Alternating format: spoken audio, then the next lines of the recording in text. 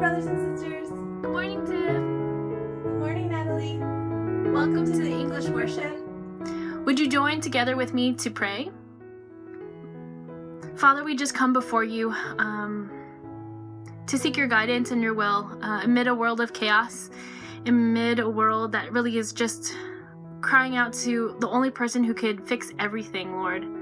We ask that you be with us, that we would hear your words, and that you would guide us in the direction you would have us go, Lord. That through the message, through the song, through just changing our hearts, Father, that we would hear what you want us to hear today, so that we can be the light in the darkness. We ask this all in the name of Jesus. Amen. Amen. Let's worship the Lord together.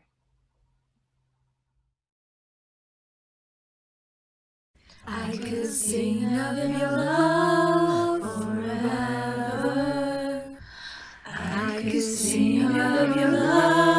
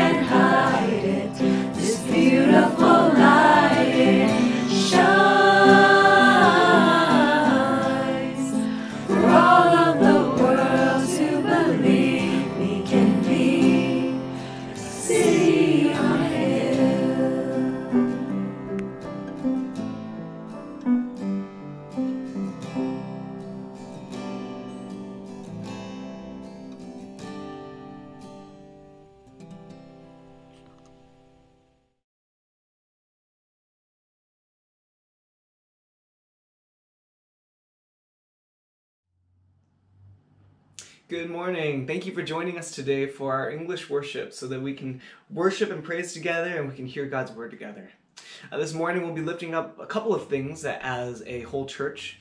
Number one, we're going to be lifting up our political leaders as they continue to consider the various things it takes to open up our society in the coronavirus situation. Uh, we also want to be praying for our leaders as they con- th- consider thinking about uh, legislation in light of the um, the uh, various uh, protests, um, the anger that's been taking place, um, that's uh, the concerns that have been raised by communities of color all throughout the world. We want to be praying for our leaders to be uh, considering all these different things. We also want to be praying for graduates. Uh, congratulations again to you elementary school, uh, junior high, high school graduates, college graduates, uh, grad school uh, graduates. Congratulations again. We want to be praying for you guys as um, God continues to lead your life. And we also want to be praying for our fellowship leaders. Um, that is, all types of fellowship leaders who are continuing to guide and shepherd the people um, in this uh, very unique time.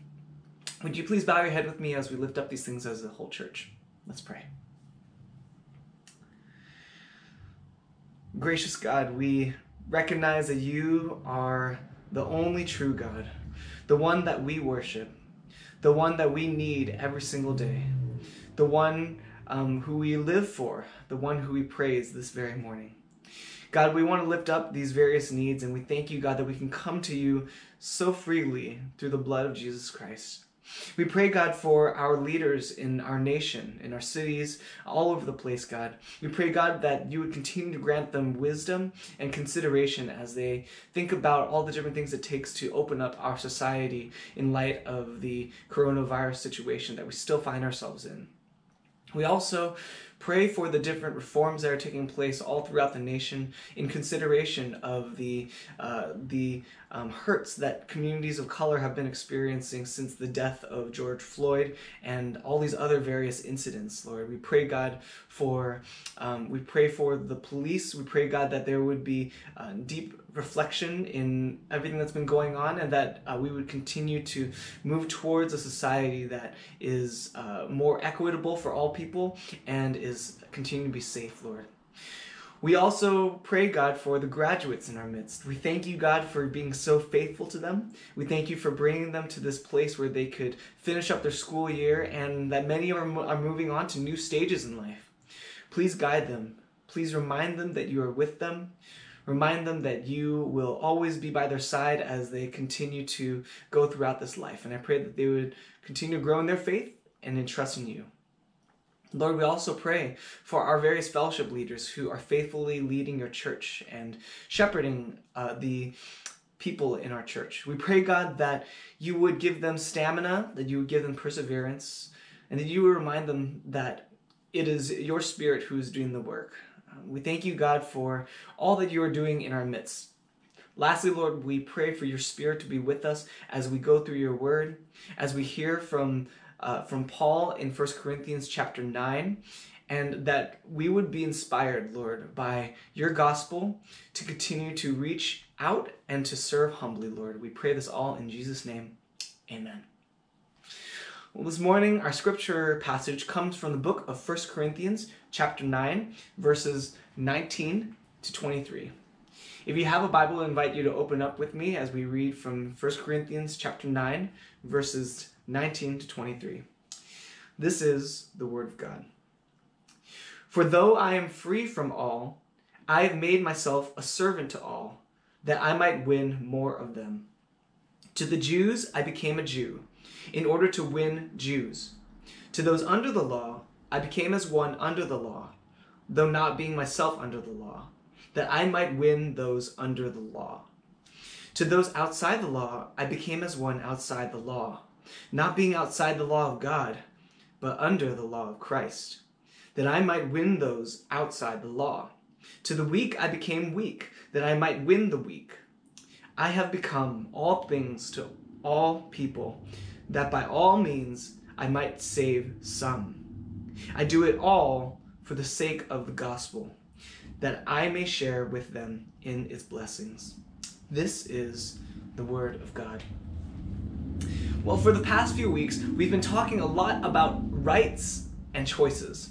And part of that is because in we've been going through the book of First Corinthians, where it talks a lot about um, the how to make decisions as Christians. What are the rights that we have, and what are the choices that we should make? What are the different considerations that we need to make? But also in our country and in our world, we've seen that people have had heated debates about rights and choices. When COVID 19 first hit, we were talking about whether people should exercise their right to go outside without a mask or not. Churches were debating about whether we should exercise our right to gather together or if we should forego that right altogether. Well, since the shelter in place laws came out, then the laws have then compelled everybody to stay indoors and to conduct services online. And since reopening, um, this has been another cause for us to consider what are our rights and what are the things that we need to consider in order to choose. Upon the death of George Floyd, our society has then turned its attention to what are the rightful exercises of authority. And then following that, there are also many debates about whether or not people should be exercising their right to protest. You know, as we can see, people care very dearly about their own rights.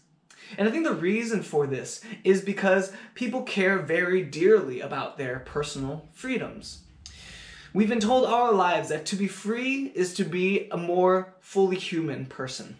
When you make decisions for yourselves and you can make decisions um, based on your own desires and for your own good. That's why there are some intense debates about whether or not these rights should be given or taken away. Now, considering all this, what then could possibly lead a person to willingly and voluntarily give up their own rights? Well, oftentimes we might see a person being willing to give up their own rights when they see that something is more important than their own personal freedom. Or to put it another way, when a person believes that something is more worthwhile or that something is more at stake than their own personal right to choose. Well, while that can sound crazy, we actually see this all the time. Um, take, for example, when people get married. When two people get married, they're effectively giving up their own right to be able to find another relationship and to be with another person romantically. Their personal freedom is being cast aside in order to gain something that, in their own eyes, is more glorious and more beautiful than being able to maintain their personal right to choose somebody else. People are willing to give up their own personal rights when they are convinced that something more important is at stake. Now, it is because of this very same principle that Paul writes verses 19 to 23 in 1 Corinthians chapter 9, telling the Corinthians that though he is a free man, that is, without a human master, he has essentially made himself a slave to all people, to serve all people, to accommodate to all people. Why would he do something like that? Why would someone willingly give up their freedom to conduct themselves in the way that they desire? Well, because it's because Paul has been captured by a treasure and an opportunity that is more glorious than him asserting his own right to live the way that he desires to live. And Paul, through the sharing of his own life here in 1 Corinthians chapter 9, is inviting the Corinthians and inviting us to also make ourselves servants for the same beautiful cause. And so this is the theme of this morning's sermon, and which is, uh, our sermon's uh, title this morning is "Make Me a Servant." Now let's remember um, what Pastor Walter preached last week. Last week, Pastor Walter showed us that Paul had the right as an evangelist, if he wanted, to request from the people to financially support the work that he does as a preacher. Paul brought them to Deuteronomy chapter 25, verse 4, and showed them the Old Testament principle that God endorsed workers to be able to enjoy the fruits of their labor. And then argued that gospel preachers should be able to be able to make a living off of their gospel preaching. Yet Paul did not demand that he that he himself as a preacher be paid or taken care of by the people he was preaching to. Um, and instead, he uh, he says in verse 18 that he his desire and the reason why he did this is because uh, that in my preaching, he writes, I may present the gospel free of charge. He had a reason for not making use of his right that he had. And it was so that money would not be a hindrance for, for people coming to hear the good news of Jesus Christ. That meant that Paul needed to make a living on the side, in addition to starting the churches that he was starting with the gospel.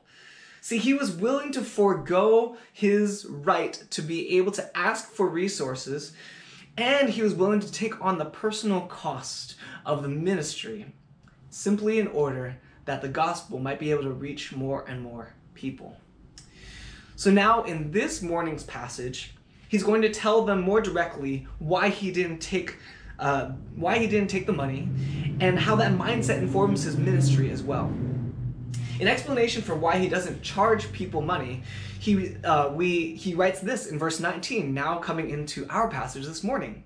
He says, For though I am free from all, that is, I have the freedom to be able to choose to ask people for money, I have made myself a servant to all, that I might win more of them. Now, this statement would have been shocking to Paul's audience in the first century. Essentially, the social stat the, the social statuses in the first century, in Paul's time, were stratified into different social um, social standings, and the biggest stratification, the biggest differences in social standing was between a person who was a slave and a person who was a freed person, a person who was a citizen or their, had their own freedom. A person with their own freedom had much higher social standing, and a person who was, a slave had much lower social standing, social capital, you might say. Um, being a free person in Rome, uh, that is not being a bondservant, meant that you had uh, meant that you didn't need to answer to another person. It meant that Paul could go to work for whoever, wherever he pleased, and that he could go where he wanted. And these were rights that slaves did not have. But he says, Paul says that he is willing to become from a freed person to a slave in essentially in metaphorically here, saying that he will be free from all the epitome of freedom, especially in our books, right? Free from all to submitting himself as a slave, as a what the Greek word is doulos to all. Now Paul isn't literally bonding himself or selling himself or making himself a property to anybody here. But essentially, what Paul is doing is he is taking on the attitude of ignoring the freedom of personal choice and instead submitting himself to working with great effort on behalf of and for the sake of every different group that he finds himself before. The way that we Christians today can treat being a servant uh, can look very different from the way that Paul talks about being a servant. I think part of that is because in the United States we don't have servants, and that's a good thing. Um, but in the absence of servants, we have taken that word to be a servant and we have made it very soft, very easy. Um, oftentimes, our conception of what it means to be a servant today is if I have free time and I have extra money and I'm willing to spend, then I'll be able to offer my help. But Paul's attitude is not giving out of his leftovers. Paul's attitude is instead that he is willing to pay a personal cost to become a slave, to be in, enslaved, in other words, in serving greatly and passionately other people. It's a different kind of attitude than everyone else around him, and it's not hard to understand why it's so different. Because essentially, Paul is trading the role of being an, a privileged customer to then becoming an obligated waiter. And if we're honest, at first glance, none of us would normally choose that option either, would we? Um, but Paul has a motivation for his conduct and for his attitude. He says this He says, He does this that I might win more of them. That is, in his strong efforts to serve others, his motivation is that some of them might come and draw, might be might come and be drawn closer to know Jesus Christ and the good news of salvation through him. He tells them how he takes on an attitude of a servant in order to bring the gospel to every kind of person. So let's read verses 20 to 21.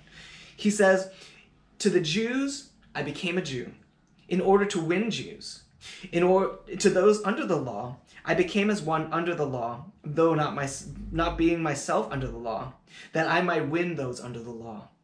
To those outside of the law, I became as one outside of the law, not being outside of the law, but under the law of Christ, that I might win those outside the law. You see, the cost of becoming a slave to others is a cost that Paul is willing to take and a cost he's willing to pay in order for some to be brought closer to Christ. Even though it's going to cost him his money, even though it's going to cost him his time, it's going to cost him his freedom, it's going to cost him his personal choice. And yet, these are prices that he is willing to pay in order to bring the gospel to many. Now, a brief look at at this passage um, and we see that he reaches out to multiple kind of people right? He reaches out to jews. He reaches out to those under the law. He reaches out to those uh, uh, outside the law and he reaches to the weak. Now paul is setting forth his life as an example for his audience. He wants them to take on a servant attitude and i think he, we can see that he wants us to do this for three purposes. And that is, he wants us to be made into servants, number one, for unbelievers, number two, for believers, and number three, for the glory of God. So, first, we can see that he wants us to become radical servants for unbelievers. For those who do not believe that Jesus Christ died and rose again to grant us forgiveness from this, we can start to see a pattern or even a method of how Paul does evangelism. I want us to see Paul's direction and also Paul's position as he does evangelism. The first thing to notice is that Paul doesn't try to win them by making them come to him. You notice that? He doesn't force them to learn his language and for them to become Christians in that way. But instead his direction is to go towards them. He says to the Jews, I became a Jew in order to win Jews.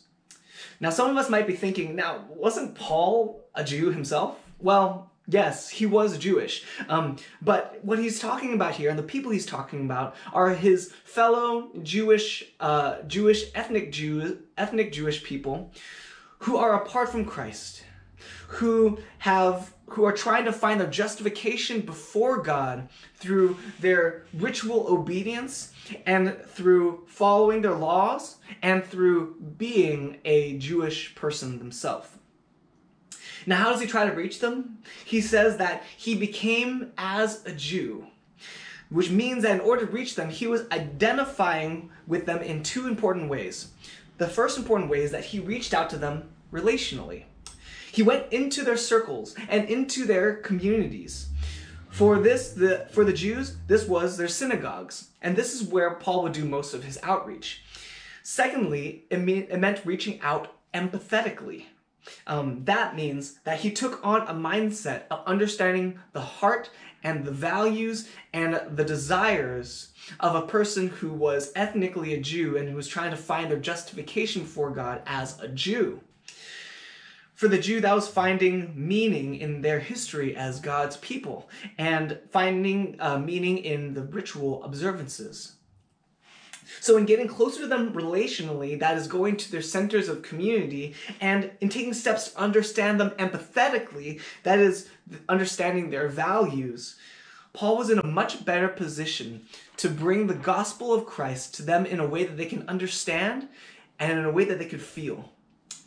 He pointed them to how Christ was the fulfillment of all the Old Testament prophecies.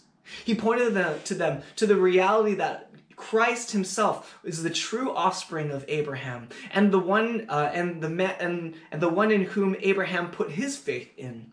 He also pointed them to how the sacrifices were all pointing to the cross of Christ, and in understanding these ways and being with them near to them relationally, Paul was able to bring the gospel to them in these ways. But again, notice that he doesn't say to them, he doesn't say to the Corinthians that they became as I am. But rather, when it comes to telling them about Jesus, Paul actively strives to meet them where they're at. Paul's direction is outwards. And I don't think it's a coincidence that this is the same direction, outward direction, that Jesus gives his Great Commission to the apostles.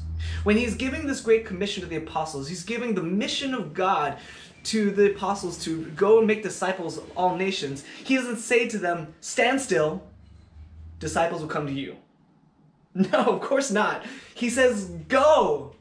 He says, get out of here. He says, go forth onward, outward, go and make disciples of all nations. And that is the posture that a servant takes. A servant is outward looking. A servant is active, actively seeking how to go to the person for whom they are obligated to serve. And it calls us, this servant attitude, this servant missional attitude, calls us to what is uncomfortable. It's uncomfortable because love is uncomfortable, and Christ is calling us to bring His love to the whole world and to the lost, those and everybody who don't know Christ. Now, I'm not saying that Christians should not invite people to church. Um, that is one of the ways that we can be active in bringing Christ to people, is inviting them to church. But we have to be honest, and we cannot be sitting around thinking that we should just wait for people to enter through the doors of our church, expecting them to come to us to hear the good news of Christ. If we want the world to know that there is salvation in only one name, and that is Jesus Christ, we have to expect our feet to move. We have to expect our lips to talk. And we have to expect our hearts and our hands and feet to go outward, to reach out to others to the people whom God has placed in our lives. Now, we should note that Paul's goal was never simply to become the same as his audience. Now, some people uh, fall into this danger um, when they think about reaching out to others. Uh, some believe that in order for them to reach out to others, they need to not only stand, understand where they come from, but they need to agree and fully participate in the activities that they do. Um, but if your ministry, for example, and it's, this is a glorious ministry, if your ministry is to those who are in prostitution, um, you do not have to be engaged in prostitution in order to reach out to them. Uh, nor should we endorse such a lifestyle. Um, but instead, Paul has a direction that he is aware of, but he's not only aware of his direction, he's also aware of his position in Christ. We could see this as he writes this in starting with the second half of verse 20. To those under the law, I became as one under the law, though not being myself under the law, that I might win those under the law.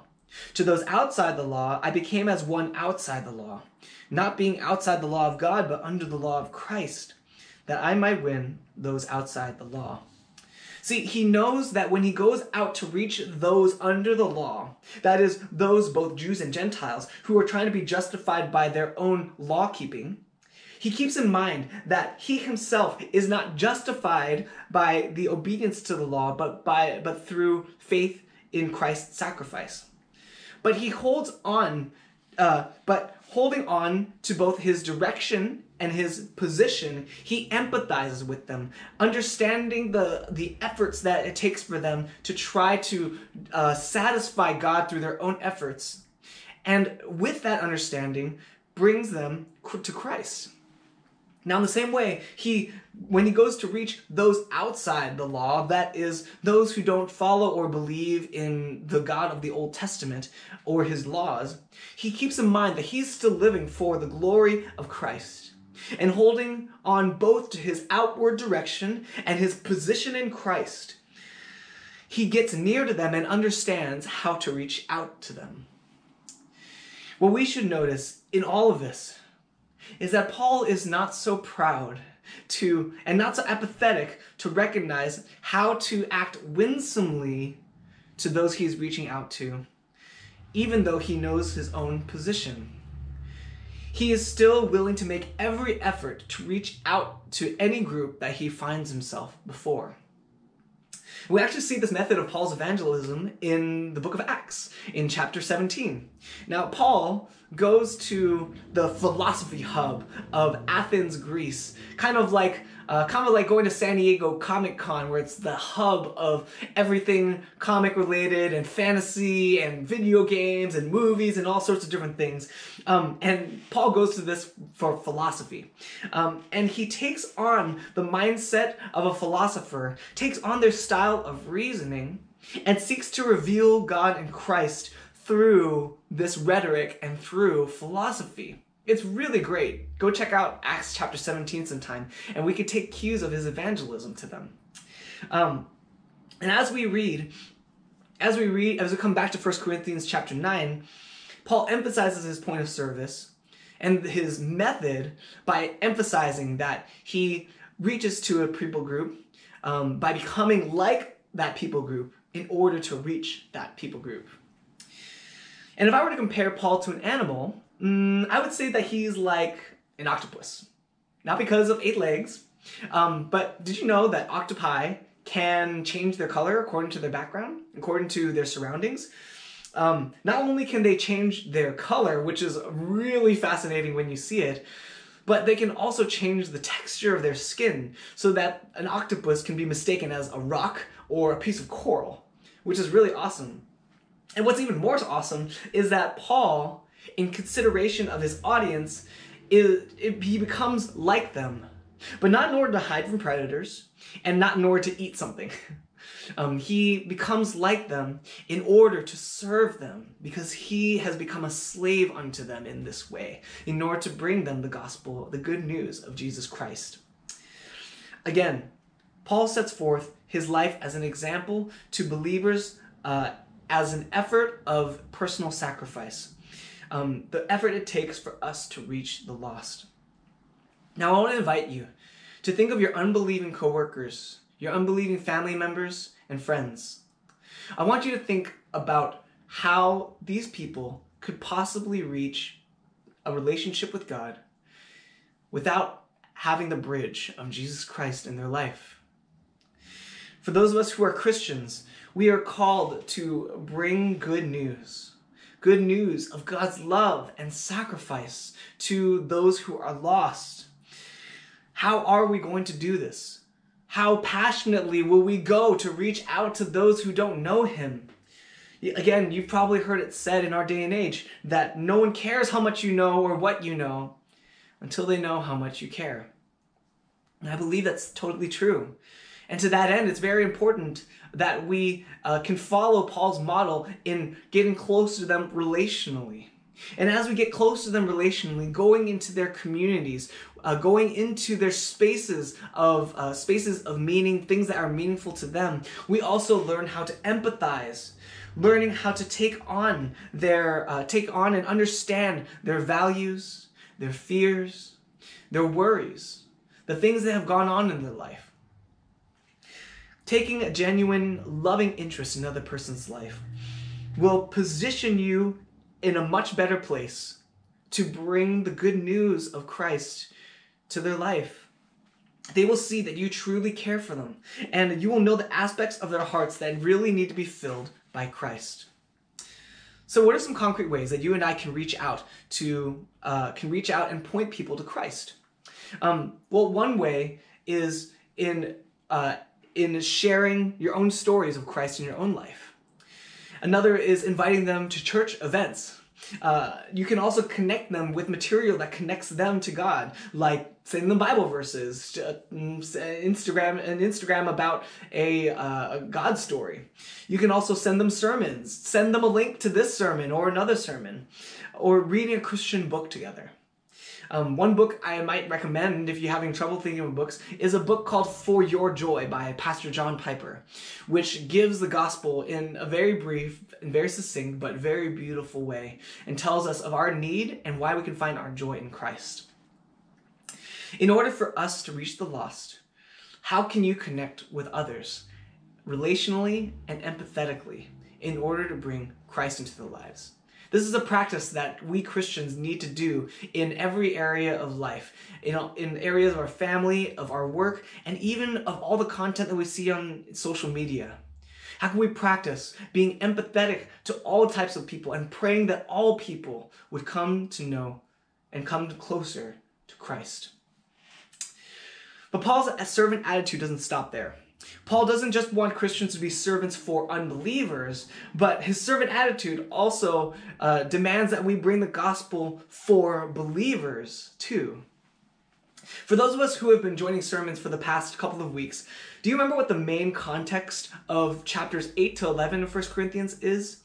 Um, it's a situation where some group of uh, some group of Christians whom call Paul calls the weak are being challenged in their consciences when they see other people eating meat around them that might have been dedicated to idols. Now, remember, he doesn't use the term me uh, uh, weak in a mean-spirited way. He just uses the term to describe these new Christians who have been eating meat in worship idol for so long that they wouldn't be able to eat meat that was even associated with idols without in their own hearts worshiping idols. And so now, in the same context, Paul is telling them, uh, uh, Paul is telling them how to reach out to unbelievers, right? In in chapter nine. Now, in that con in the chap in the context of chapter nine, without skipping a beat, he says, "Let us reach out to also the weak by becoming like the weak, in order to win the weak." It's at this point that we're reminded that of the situation taking place in Corinthians and why Paul, in the middle of this letter, is talking about sharing is talking about letting go of his right to be paid as a pastor and and laying down his right to conduct himself however he wants in front of other people. These are not random topics that Paul is bringing up here just to show off, but he's bringing out these topics as an example to the proud Corinthian people that they should be laying down their own freedom and their own rights in order to serve those uh, those who are weak in order to love them and bring them closer to Christ. You know, some of these proud Corinthian Christians are saying that, you know what, I know that idol meat is just plain old meat. and so I'm going to go eat meat. And you know what? The best meat can be found in the temples because that's where people really want to offer their offerings to the idols. So I'm going to go and I'm going to eat the meat that's offered in the temples. As they do this, they do this in spite of the fact that their brothers and sisters of Christ might follow their example and in their hearts will perceive themselves to be worshiping an idol, worshiping false gods. Well, why does Paul say that these people, the weak, need to be won? If the weak are already Christians, why do they need to be won? Well, for these so called weak brothers and sisters, they don't need to be won in order to know Christ, but they need to be won in order to be drawn closer to Christ. And they need to be drawn closer to Christ and away from temptations that would cause them to worship other false gods. And the fact is that all Christians need to be drawn closer to Christ. Amen?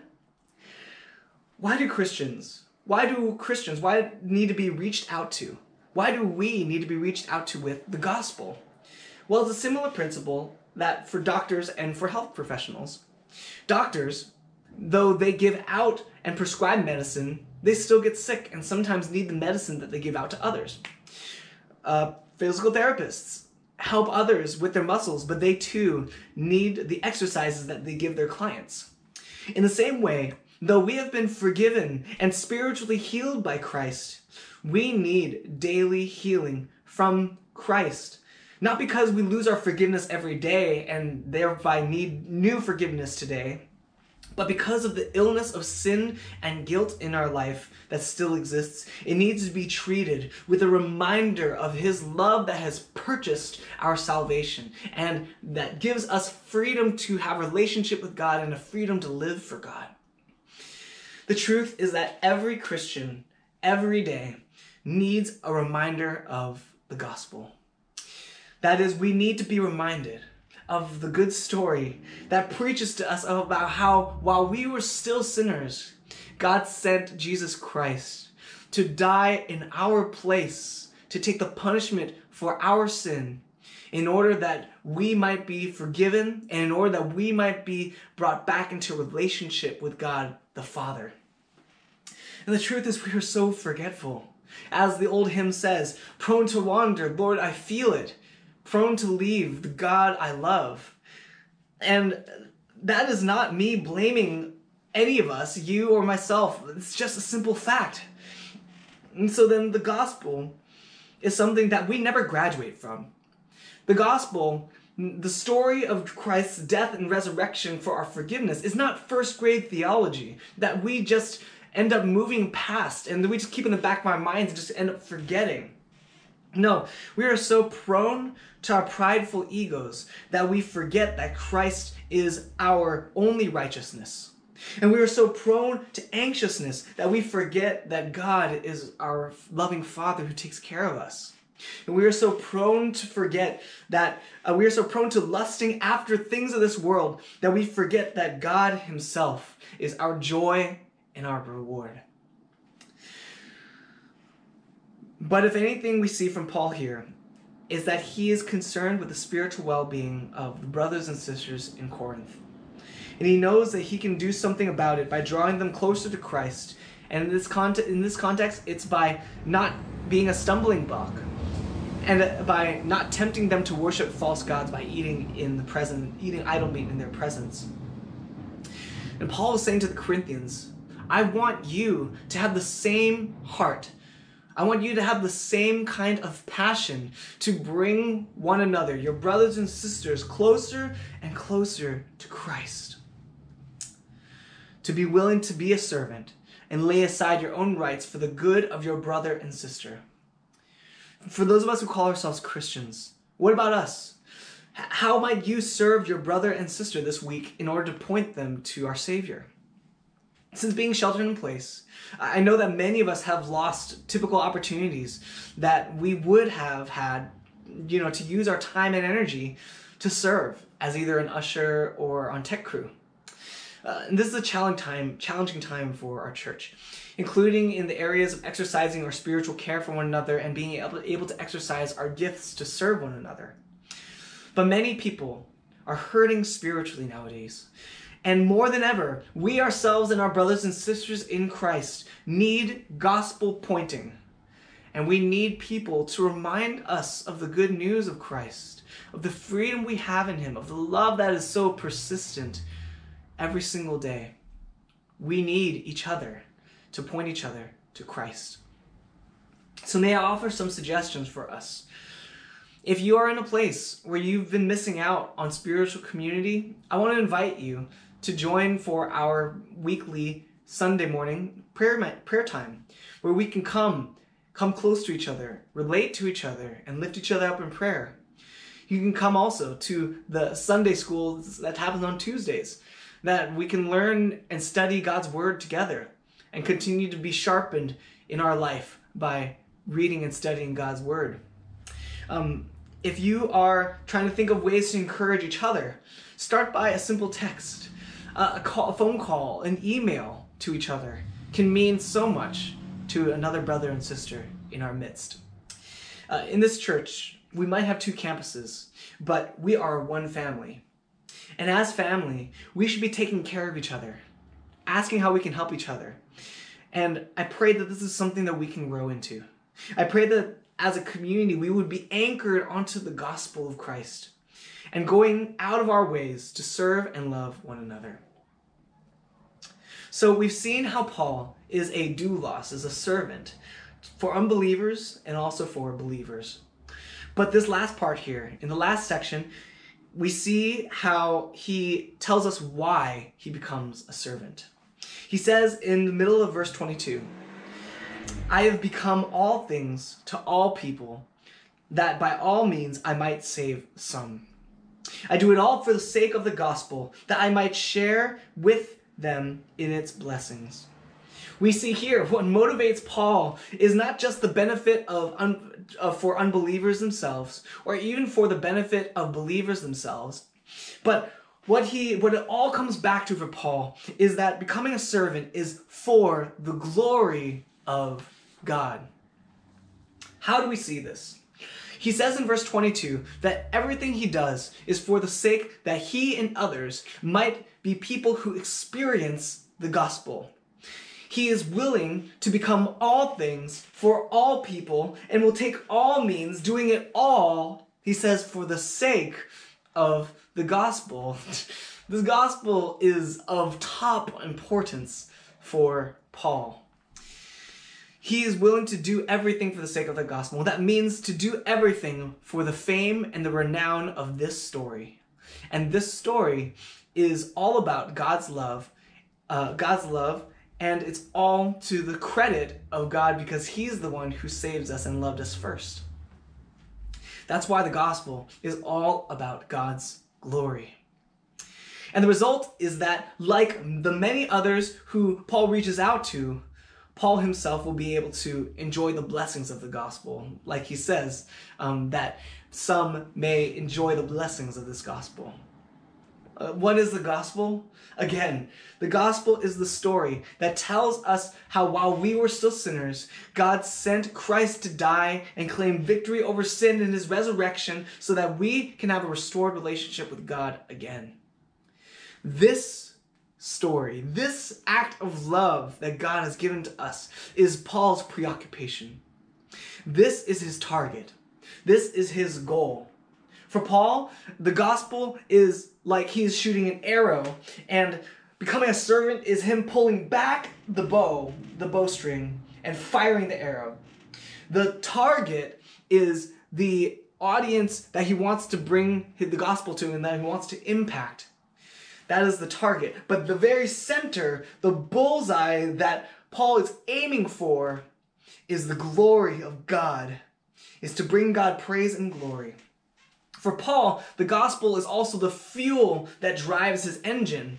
His car, his vehicle is going to people to serve them, and it's the gospel that energizes him and brings them brings him to them. And for Paul, the gospel is his treasure and his prize. Uh, the gospel for him is the million dollar prize that waits at the end of the great race, at the, the amazing race that he that uh, that he would run hard in, that he will find every clue for, that he will seek under every single rock in order to get that million dollar prize. So in this entire section, Paul wants us to make our personal freedom secondary to serving others. And serving others the means by which we magnify the gospel. But here's the question though, and the answer to this question will determine how far you and I will go to serve others. And that is this Are we personally convinced of the gospel's worth? Are we convinced that the gospel is the target, the bullseye of our lives? That the glory of God is what we are striving for and the purpose of our lives? Without ourselves becoming convinced of the beauty and the supremacy of God's glory and His gospel, we will not be able to serve others the way that we are being called to. Perhaps if we diagnose in ourselves a lack of service to the lost, and a lack of service to our brothers and sisters, perhaps we'll find that what we are missing is the gospel's true worth in our hearts and our minds. That what we're missing is a full understanding of how worth it the good news of Christ is and how necessary it is for us to bring people closer to God and how great it is to give God all the glory. As we mentioned before, even Christians need to be reminded of the gospel on a daily basis. But I really believe that the more that God's story of love and redemption becomes a central part and purpose in our lives, the more we will be moved into sacrificial, radical service to, for the lost and for the church. Why? It's not only because the story of God is just so glorious and so grand, but it's also because the gospel story is the story of God's radical service to you. It's a story of how far God went to reach us when we were lost. It is a story of God's sacrifice for our spiritual health and our eternal health. And that same gospel is inviting us to follow in the footsteps of our Savior, to serve mightily to reach the lost and our brothers and sisters. As we close, I want to invite, give this invitation out. For our non Christian friends and family this morning, God is giving an invitation to you to hear and to see how great His love is for you and the price that He paid for you in order to have a restored relationship with God. God is reaching out to you and He wants you to know that he, His love is made available to you and that you can know His service and His love in your life. So, Christians, to Christians, God's invitation for us is return to the gospel. Return to the story of God's radical service to, for you and for me. And through it, may we see the joys of becoming a radical servant for others and for God's glory. Let's pray together. Heavenly Father, we see through the life of Paul that he was willing to lay down his freedoms, take on inconvenience, and to pay a high cost to bring the good news of Jesus Christ to the lost and to his brothers and sisters. And he saw that it was worth it. In all the same, God, we see also the, the sacrifice that Christ has made for us God, and we are humbled. We are humbled and we are won over, Lord. God, I pray, Lord, that for our unbelieving friends and family this morning, that they would be won over one day. That you would help them to see how great you are and how wonderful it is to be a servant to others and to uh, and to everyone around us. And I pray, God, for our brothers and sisters, Christians in our midst, that you would help us to awake from our slumber, to awake from our weak willedness to serve others and to serve each other. That you would help us, God, to serve others mightily, to be willing to go take the far cost, to be near to those, to empathize with those, in order to serve them and to bring the gospel of Christ to them. And they would be that they would be drawn closer to Christ. We thank you, God. Challenge us this week of how to reach out to others. And we pray this in Jesus' name. Amen. Thank you again for joining us this morning for our worship. We do this all for the good news of Christ and for his glory. And we want to now uh, just share some announcements for uh, for all of us this morning. Um, we want to first announce and remind every remind everybody that next week on June 21st is Father's Day. So we want to ask you to please invite your father and grandfathers to join us for the online worship services. Here in the uh, English worship, we will be having a short, little, fun little video in commemoration of Father's Day, and we hope that you can join us for that. The second announcement that we want to remind people of is that the 2020 CEF virtual retreat uh, that's taking place on July 3rd to 5th is has a deadline to sign up for today. The deadline to sign up for this retreat is today, June 14th. So contact Julie today.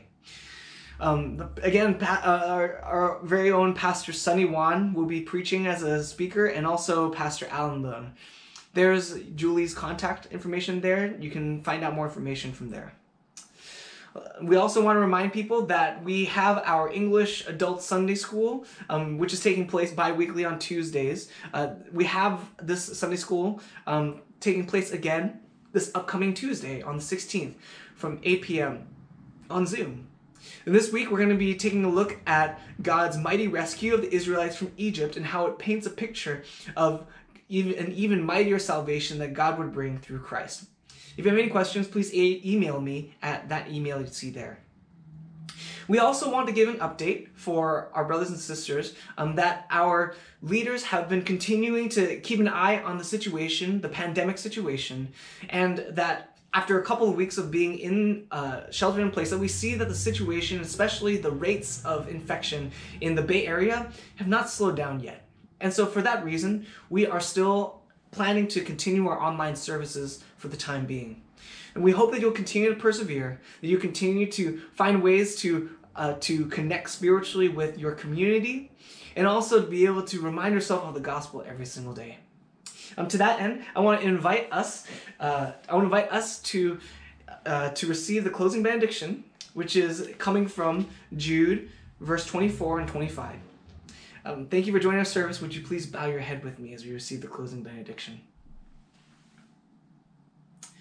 Now, to him who is able to keep you from stumbling and to present you blameless before the presence of his glory with great joy, to the only God, our Savior, through Jesus Christ our Lord, be glory, majesty, dominion, and authority before all time and now and forever. Amen. Thank you again for joining us this morning for worship. We pray that you have a great week. God bless. Receive the gospel. Go and reach out and serve others.